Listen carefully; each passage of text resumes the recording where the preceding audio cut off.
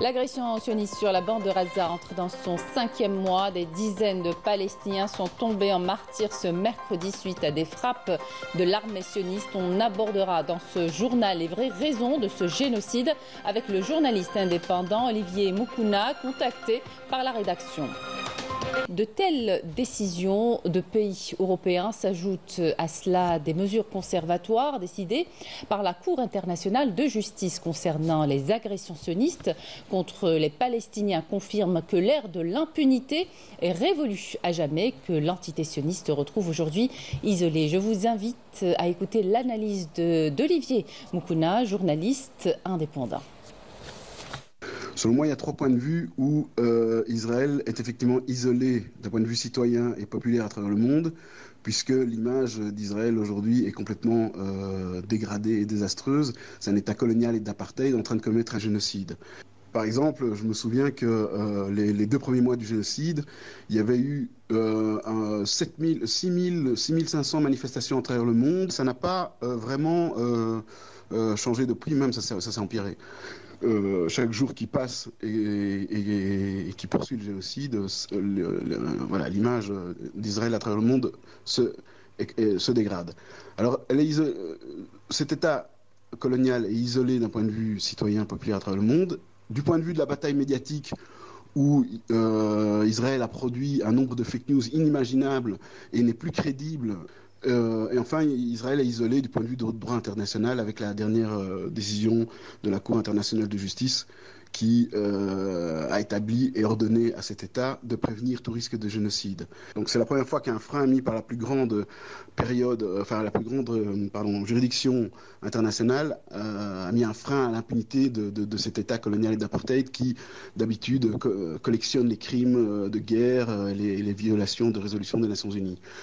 Mais par contre, en revanche, c'est vrai qu'Israël n'est pas isolé d'un point de vue politique, militaire et financier, avec ses deux plus gros sponsors que sont euh, les États-Unis d'Amérique et les pays de l'Union européenne. Euh, et en réalité, la majeure partie des, pays d'Occident. Et en plus, une série de pays euh, sur d'autres continents qui sont soumis à l'Occident.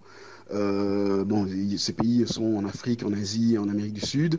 Et par exemple, en Amérique du Sud, je pense à l'Argentine du nouveau président Milei, euh, donc un leader fou d'extrême droite, euh, euh, islamophobe et vraiment ultra-sioniste, ben, il s'est rendu dernièrement en Israël pour assurer Benjamin Netanyahou, criminel de guerre et, acteur d'une politique génocidaire, de son total soutien politique, militaire et financier. C'est pour dire à quel point Israël est fort fort soutenu et pas du tout isolé du, point de vue de ce qui compte malheureusement dans les, rapports de force du monde, c'est-à-dire euh, les, moyens politiques, financiers et militaires.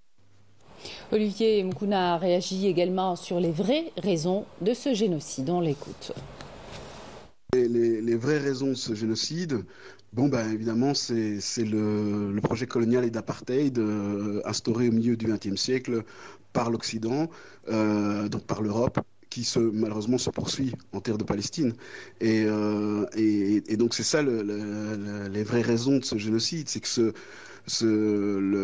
l'État d'Israël est aujourd'hui dirigé par des fous d'extrême droite et intégristes qui ont décidé, enfin en tout cas une bonne partie, d'accélérer vraiment le processus de colonisation euh, depuis déjà qu'ils sont au pouvoir, je dirais, mais à partir de l'attaque de la résistance palestinienne du 7 octobre, eh ben, ils ont utilisé cette attaque comme, comme, comme prétexte de lutte contre le terrorisme pour accélérer effectivement euh, le, projet colonial et quitte à commettre un génocide.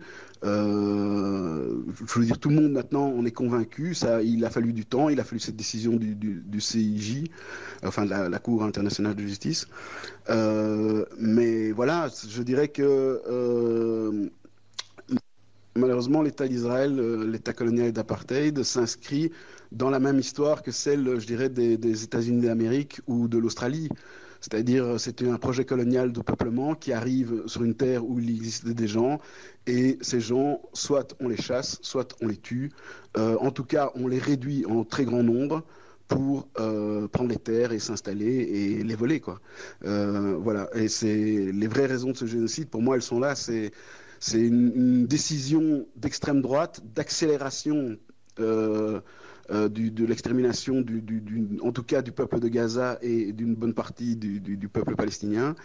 Et je, terminerai en disant qu'il faut aussi rappeler que non seulement il y a le, drame de, ce que vivent les Palestiniens depuis quatre mois maintenant, à Gaza comme en Cisjordanie, mais en fin de compte, un État colonial et d'apartheid comme celui d'Israël, euh, avec son projet de, sioniste et donc d'Eretz Israël, euh, n'aura jamais de frontières fixes. Et d'ailleurs, euh, sa politique d'expansion et coloniale sioniste menace continuellement le Liban, la Syrie. bon, avec l'Égypte maintenant, il y a, le il y a un accord entre guillemets de, des accords de paix, mais ça peut très bien reprendre.